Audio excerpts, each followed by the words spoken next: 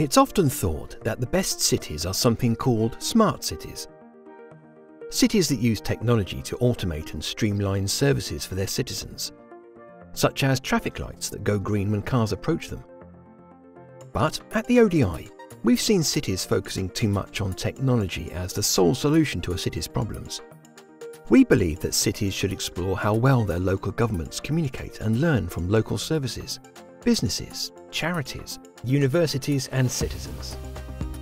At the heart of this is understanding the data that cities already have and thinking about how that data could be used or shared. Can data help to predict houses at high risk of flooding before heavy rainfall? Can citizens share data to inform the need for new infrastructure like cycling lanes where it's needed? These are questions that we want cities to think about. How can your city become more open instead of just becoming more technological? How can organisations use the data they already have to improve how they work together and do the best for their communities? What are the challenges or goals that a city might face, and what kinds of data from different sources could help?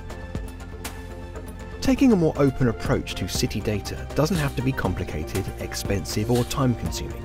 Most cities already have the data they need to address problems. The ODI offers free tools and we can help cities map their data and make decisions about who should be connecting with who and can help spot barriers as well as opportunities. Make data work for everyone. Make your city open.